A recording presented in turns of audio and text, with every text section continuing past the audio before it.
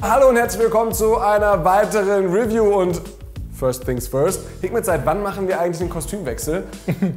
Seitdem wir jemanden in der Requisite haben und äh, ich habe gehört, es soll am 3. September soll es ein Release geben von ein paar Klamotten von mir. Und, ähm, Hast du gehört? Ja. Sagt man sich auf der Straße. Sagt man sich auf der Straße und unser Requisiteur, ähm, der hat gesagt, ey, zieh doch einfach mal was anderes an. Das ist vielleicht dann so ein bisschen unauffällige, wie sagt man, sublimale Werbung. Ähm, aber gut, ich konnte mich nicht verwehren. Kommt auf eure subjektive Wahrnehmung an, ob ihr das äh, unterschwellt. www.ifeellikehickmet.de Ja, macht das. Okay. Gebt das T-Shirt und das müsst ihr ins andere Video gucken. Soll ich noch eins verschenken oder so, oder ist das zu kompliziert?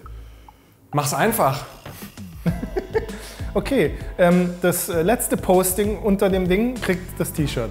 Und äh, Finale ähm, geben wir nicht bekannt. Wir sagen einfach irgendwann, okay, letztes Posting. Ihr habt's selbst in der Hand um mal deutlich zu werden. Was wir in der Hand haben, Ja. um da mal deutlich zu werden, sind äh, zwei Schuhe, die Bait zusammen mit Adidas hergestellt hat. Adidas Consortium Drop vor 10 Tagen, 12 Tagen bei Bait Release gehabt und jetzt international bei dem Konsortiumhändler eures Vertrauens käuflich zu erwerben.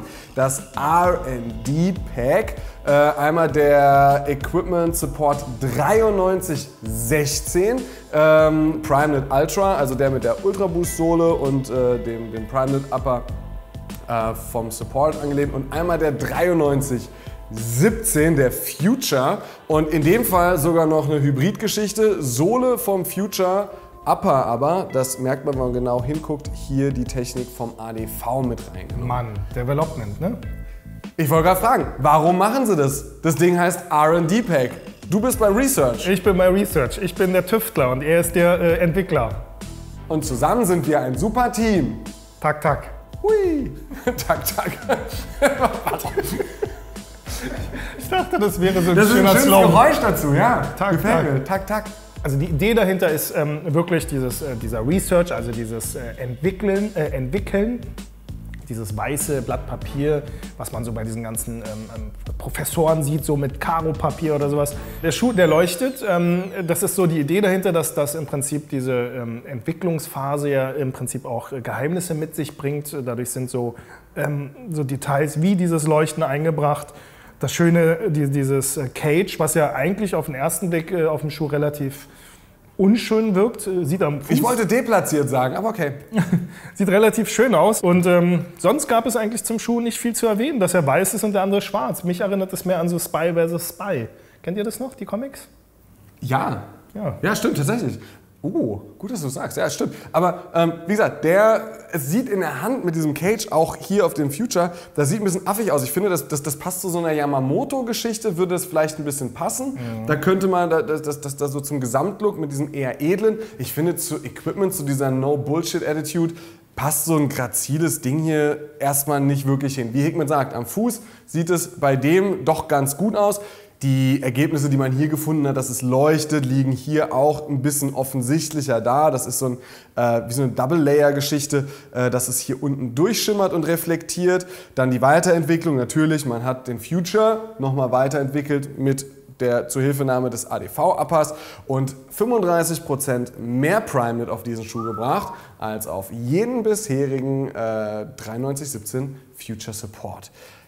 Mann, da hat sich die Weiterentwicklung richtig gelohnt. Ich finde nur, dass es schade ist, dass es halt so ein, so ein, so ein nicht besonderes an diesem Schuh dabei ist. Wenn der jetzt auch Glow in the Dark hätte so, oder wenn der, wenn der auch noch ein besonderes Feature hätte, so finde ich, geht das Ganze leider ein bisschen unter mit dem Schwarz. Vielleicht hätte es auch einfach eine andere Farbe oder einen Kontrast getan, ähm, weil dieses, hey, das ist ja eigentlich hier ADV, das sieht ja kein Schwein auf den ersten Blick. Ne? Das ist das, was, also ist mir ein bisschen zu subtil, ein bisschen zu alltäglich, zu, ich sage es wieder, ich habe es im letzten Video erst gesagt, zu durchschnittlich. Aber das Ding finde ich, obwohl es all white ist und man sich sagt, so als Collab könntest du auch mal, könntest du auch mal ein bisschen, ja, hey, hey, finde ich über diese Glow in the Dark Geschichte super, den Ich weißen finde den hier ich. ehrlich gesagt schöner. Ich finde den schöner. Wollt ich. tauschen? Ja, gerne. Danke. Dann ähm, hätten wir das und damit ihr auch entscheiden könnt, wie euch die Schuhe gefallen und welcher euch im günstigsten Fall auch besser gefällt, gucken wir uns die beiden jetzt Ja. mal on Feed an. Das ist eine tolle Idee.